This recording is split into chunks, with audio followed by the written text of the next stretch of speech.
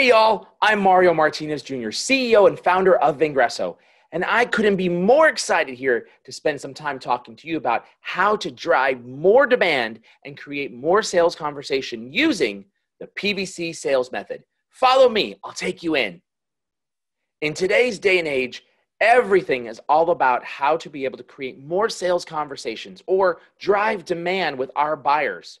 But there's never been a time before where buyer and seller have been more perfectly aligned from a marketplace perspective. And all the things that we are doing are perfectly in sync. What do I mean by that? Let me show you. First off, today's buyer and seller are both digitally connected, socially engaged, mobile attached, and video hungry. These are the four cardinal attributes about today's modern buyer and modern seller. And it's amazing that with this alignment, that so many folks are still yet dissatisfied with their results. Why? Why are they dissatisfied with the results of demand generation and creating more sales conversations? What I want to do today is I want to take you through the anatomy of a great message. And I want to take you on a journey of how to construct your messaging so that you can reach your target buyer and create those sales conversations that you're looking for. Let me take you through the anatomy of a great post. Now, first off, if you look at a specific message, what is the best type of scenario? Well, the first thing you want to be thinking about is how to hyper personalize your messaging. The second thing is the statistics show that if you use 111 words to state the pain and add value, you're going to be able to get greater engagement. Because at about 111 words, that's when people start to drop off in terms of their engagement and specifically reading the message that you sent over to them. And you also want to make sure that you include a CTA. Now, this is the best thing that you could do for yourself when creating a message that's hopefully going to create more demand or more sales conversations. But there is an acceptable minimum, if you would. And that is when we look at creating a message, if we can't hyper personalize a message to an individual, we can personalize the message to the buyer persona. And more specifically, I think it's very difficult to create a message in 111 words. So, our best practice is somewhere between an 112 and 200, with 150 to 180 words of that message being the most optimal. And specifically, always include a call to action. And you want to make sure that someone is not going to spend a long time reading through a message, no more than 30 to 60 seconds at most to read through and take a look at your content, your material, your video, whatever it might be. Now, this anatomy of a great message can be utilized for any number of purposes. It could be utilized for a social outreach, it could be utilized for an email outreach, or it could be utilized for even a text message and a phone call. Think about how you can personalize to the buyer persona or the individual, use 111 to 200 words, and always include a CTA. Let's break this down the three different elements of a specific uh, uh, message. The first thing that you want to be thinking about is um, what does a message include? What should it include? Well, first off, you've got a, a, a script here that we've created. And this goes into talking about, uh, hey, John, Mario here. The majority of, and you want to insert your buyer persona here. And this is an example where you'd say, majority of sales leaders that I speak to have two common problems they're trying to solve. Number one, they're trying to create more sales conversations. And number two, they want to increase the sales pipeline. Okay, now we've just established what it is that is the problem that you're trying to solve for for your product or your solution. With that in mind, what do you do next? Now you bring value to that particular buyer.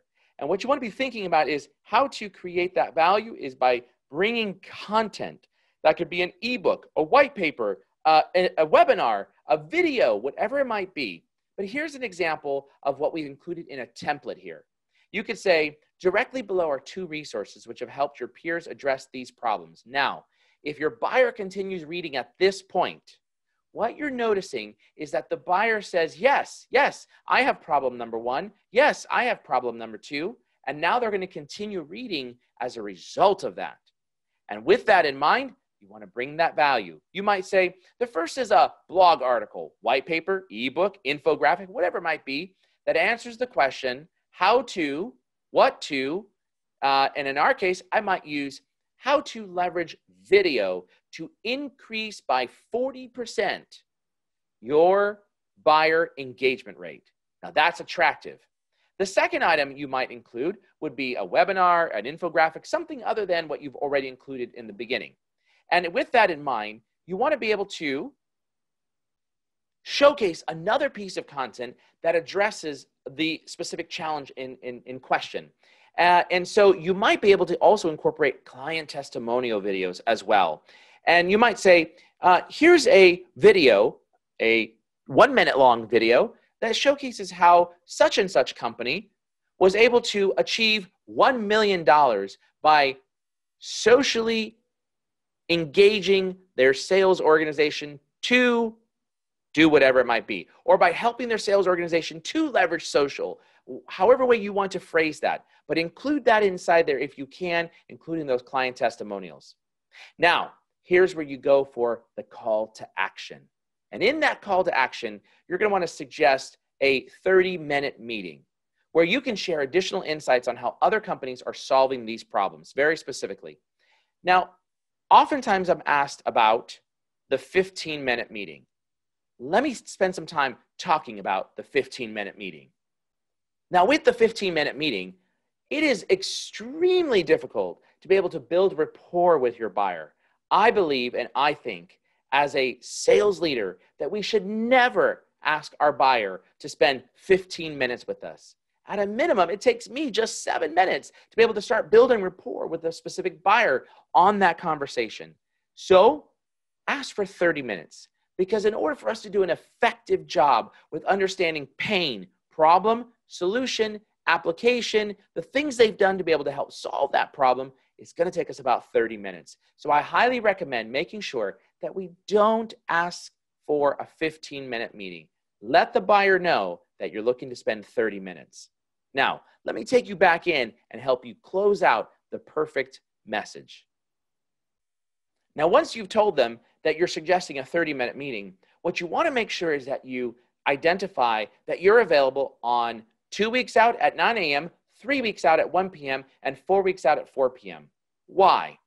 Well, generally speaking, you're calling on an executive, and an executive is already busy, and their schedule is planned out at least two weeks out. Now, notice how we have inside here two, three, and four weeks out at nine, one, and four. Why? It's very strategic in nature. We want to identify as a seller when does this buyer potentially take meetings? Morning, mid afternoon, or late afternoon? So that we could possibly understand how to continue to message and engage with this particular buyer. Now, oftentimes I'm asked, can I send a calendar invitation? The answer is yes. Yes, you can send a, a, a calendar link, excuse me, a calendar link. Can I send a calendar link? The answer is yes. Yes, you can send a calendar link, but this is how you do it. You want to make sure that you are showcasing respect for the individual and the executive that you're calling on, and make sure that you uh, give them three dates and time that they can look for. Don't just send them your calendar link and expect that they're going to, quote, book a call with you. No, you tell them, alternatively, to avoid email scheduling volleyball, click the link here and feel free to find a time that best matches to your calendar. Now, notice here this says schedule a call with Mario.com. This is a great little ninja trick for you is go out to your GoDaddy or some domain provider and buy the latest and greatest. Schedule a call or book a meeting with John Smith. Schedule a call with johnsmith.com buy that link and have that forward to your meeting link. This way, wherever you go, whatever company you go to, you've got an actual meeting link that a domain that is tied to a meeting link and all of your customers whoever may use it will follow you along no matter where you go it's a great little trick so go out to your domain provider find book a meeting with insert your name schedule a call with insertyourname.com. And with that in mind, you're going to close out the message that says, let me know which option works best for you. You want your buyer, the executive, to be able to say, all right, I'll find three dates and I'll find one of these three dates and times, or I'll schedule a call if neither of these work. And you've made it easy for them to, to do business with you or to potentially engage with you. And then finally close out with I look forward to speaking to you. Thank you and insert the prospect's first name. Now, this is the anatomy of a perfect message. You're going to have personalization inside of here. You're going to have personalization inside of here. You're going to have a call, uh, excuse me, value that you're going to bring your buyer, which is through content. And then you're going to have a call to action. And that call to action might be request a meeting. Alternatively, there are a number of other call to actions that you can include. And let me expand on the call to the, the type of call to actions you can include. So just remember, not every call to action has to be book a meeting. We all want to book those meetings, but a CTA might be simply ask a question to create engagement. For example, using that the anatomy of a perfect message, I might open with those two elements that usually I speak to leaders that have these two problems. And then I say, those that have had these problems, uh, I've provided this particular content or information, and I close with a question. Can I confirm? Are you challenged by either one of these two problems? Question mark. What am I looking for?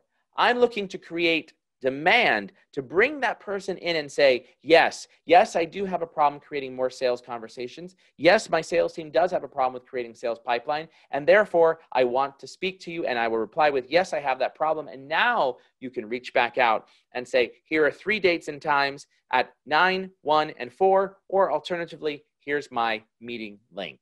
Now, let me take you back through and close this out.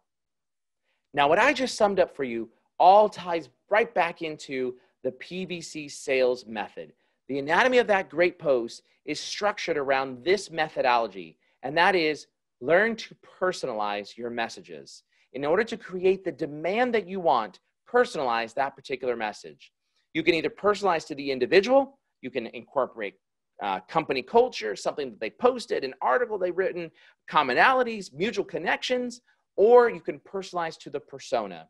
In the example that I showed you, I was personalizing to the persona. Number two, bring value. You must give value to get something in return. So, in order to be able to give value, utilize content, material, blogs, articles, white papers, ebooks. Even if your company did not write it, leverage that material and use the content to address the pain, to reinforce your value proposition. And finally, the third element is all around the CTA, the call to action. Remember, most of us want to go after the meeting, but it's not always the CTA that you want to utilize inside of a message that you're engaging with a prospect to create the demand. You might ask a question to solicit a response, ask for their opinion, invite them to an event, or ask for a meeting. Now, that is the PVC sales method the P for personalized, the V for value, and the C for the call to action. So, if you want to create better demand inside of your sales pipeline, inside your sales organization, leverage the PVC method in both social touch, email, text, and even a phone call. I couldn't be more excited that you joined me today. I want to thank you and make sure you go to the pvcsalesmethod.com. There's an, an entire ebook with the scripts inside there. Just go ahead and go to pvcsalesmethod.com. I'm Mario Martinez Jr., CEO and founder of Vengreso, and I want to thank you for joining me today. And don't forget, drive that demand.